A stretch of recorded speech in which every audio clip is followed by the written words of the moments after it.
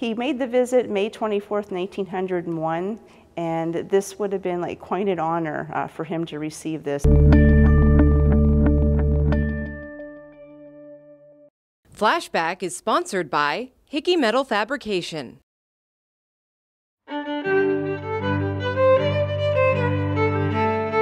This item was presented to President McKinley when he made um, a visit to Snoqualmie Falls in Seattle, Washington.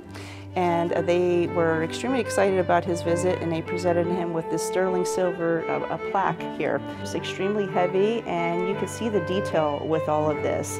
He made the visit May 24th, 1901 and this would have been like quite an honor uh, for him to receive this. You could tell just like the, the work that went into this. This is a one-of-a-kind uh, item, and so we're very lucky to have this.